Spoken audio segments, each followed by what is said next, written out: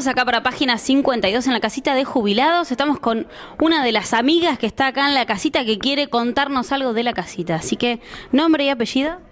Etel Acevedo. Etel, contanos. Etel Acevedo, sí. Pertenezco a la casita hace cinco años. Esto es un paraíso realmente. Un lugar donde todo el grupo de gente mayor nos sentimos bien. Yo integro el grupo de folclore bajo las órdenes de la profesora Esther Picabea. Es una genia, cómo nos maneja, cómo nos lleva, realmente es una diosa. También hago tango con el profesor Juan Fernández, que también es un ser extraordinario, cómo nos acompaña, cómo nos guía y siempre eh, con el mismo humor.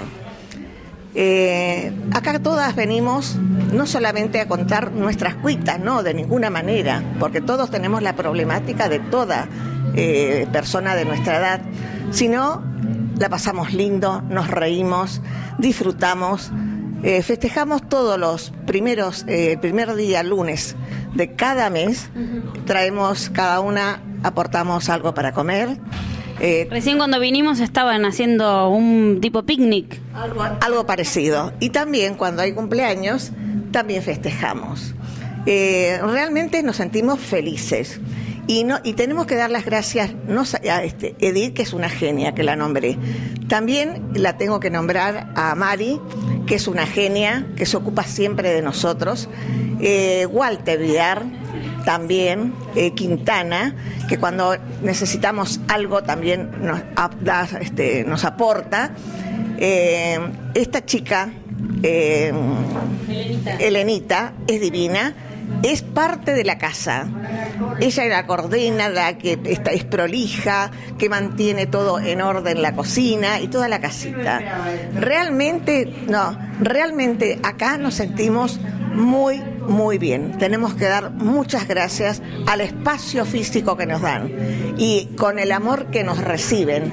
Además, dos personas adorables que son Hilda y, y Silvita. También, dos seres extraordinarios.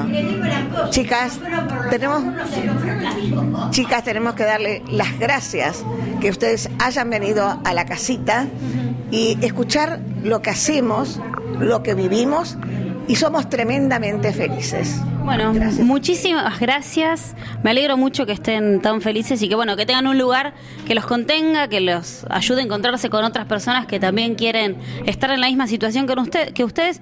Así que bueno, pueden venir todos los días los que quieran. Ahora están en eh, Folklore. ¿Qué días? Lunes de 15 a 17 horas.